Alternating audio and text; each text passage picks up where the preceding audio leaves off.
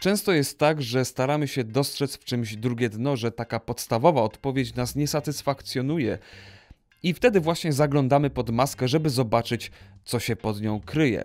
Tak właśnie działa umysł ludzki. Szuka pewnych wzorów, szuka pewnych schematów, i jeżeli coś się w ten schemat nie wpisuje, no to zaczynamy podejrzewać, że coś jest nie tak, że coś jest na rzeczy i że gdzieś tam czai się coś jeszcze. I tak właśnie powstają teorie, innymi teorie fanów gier, o których ich producentom nawet się nie śniło. Oto kilka z nich. Squall nie żyje. Jednym z głównych bohaterów gry Final Fantasy VIII jest Squall. Na początku gry razem z towarzyszami zostaje wysłany po to, by zabić złą czarownicę Adię. Teoretycznie wszystko idzie dobrze, ale na koniec walki zła czarownica tworzy zaklęcie, którym częstuje Squalla i wygląda na to, że rana jest tak ciężka, że bohater się z tego nie wykaraska. Jednak okazuje się, że bohater ciągle żyje i dalej kierujemy jego poczynaniami. Czy jednak na pewno żyje? I tu właśnie zaczyna się teoria.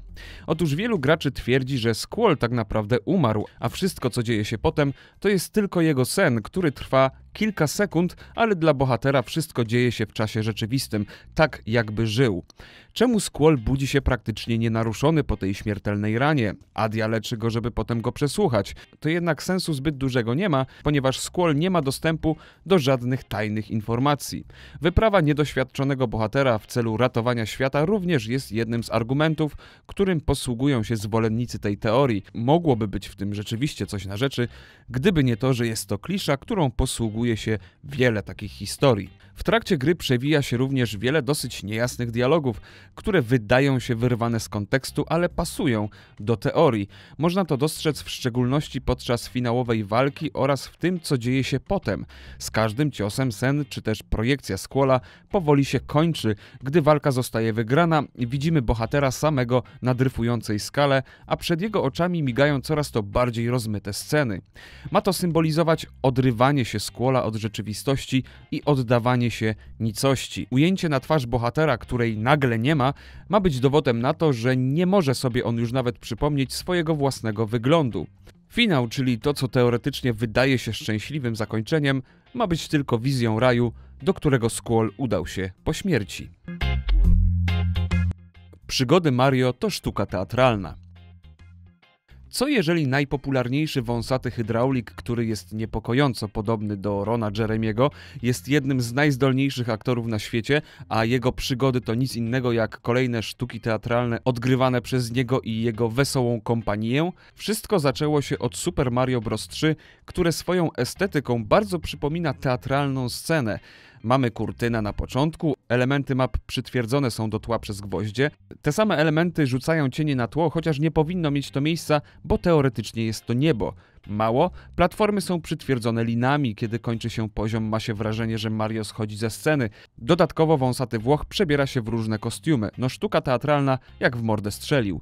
Teoria nie tyczy się tylko i wyłącznie trzeciej części, ale również tego, co dzieje się potem. Pierwszy Mario zakończył się uratowaniem księżniczki, dwójka okazała się snem. W trzeciej części Hydraulik postanawia stworzyć sztukę o swoich własnych przygodach. Późniejsze perypetie to również nic innego jak teatr, a jego ekipa to grupa aktorów aktorów. Skąd ten wniosek? Z braku konsekwencji w ciągłości fabularnej gier serii. W jednych produkcjach Mario i Luigi ze sobą rywalizują, a w innych współpracują. Dlaczego Bowser jest dobry w Mario RPG, a w innych porywa księżniczkę? W niektórych grach kolejne przygody wąsacza to po prostu epizody skonstruowane na modłę japońskich serialów telewizyjnych, a w Mario 64 widzimy nawet kamery filmowe.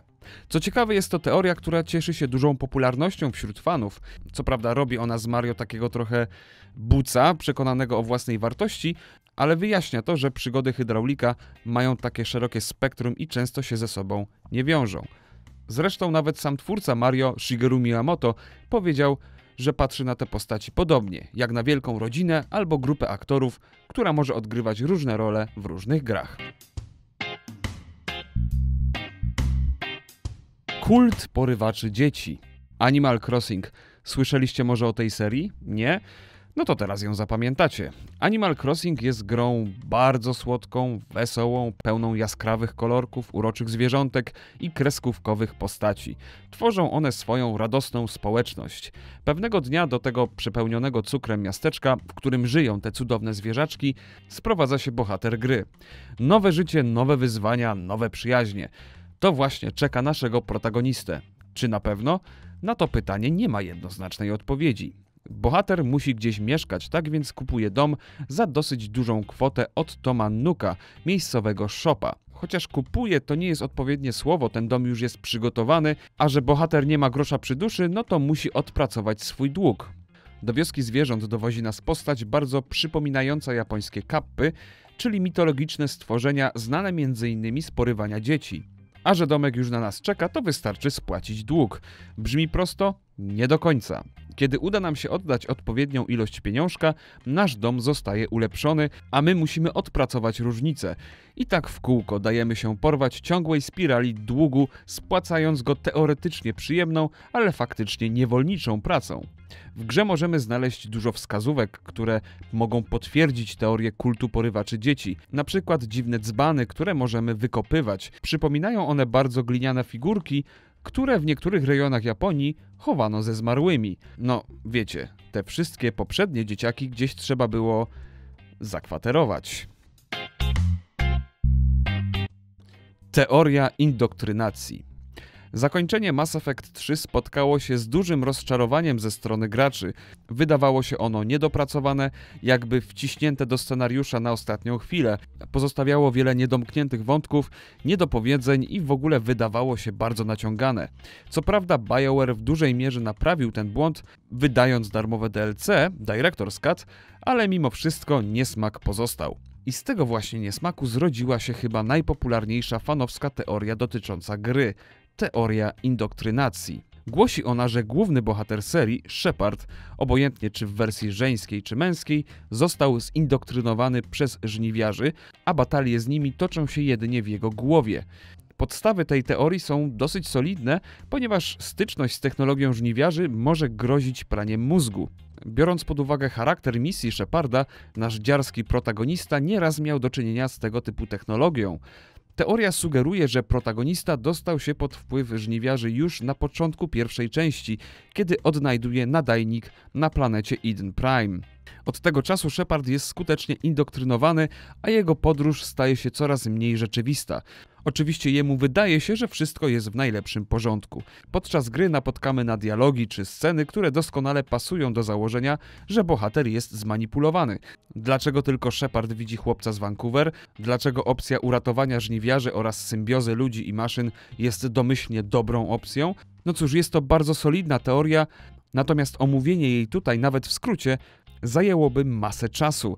Wystarczy powiedzieć, że filmik, który prezentuje teorię w całości, ma prawie dwie godziny. Na tym oczywiście teorie fanów się nie kończą, bo praktycznie każda popularna marka ma takową w zanadrzu. Ja wybrałem tylko te najciekawsze według mnie. To czy one są prawdziwe, czy nie, no to cóż, zostawiam Wam do oceny. Jak dla mnie trochę za dużo tutaj mm, takiego naginania faktów pod teorię, a nie na odwrót, czyli tak jak powinno być. No ale co ja tam wiem, może rzeczywiście coś jest na rzeczy. Do usłyszenia.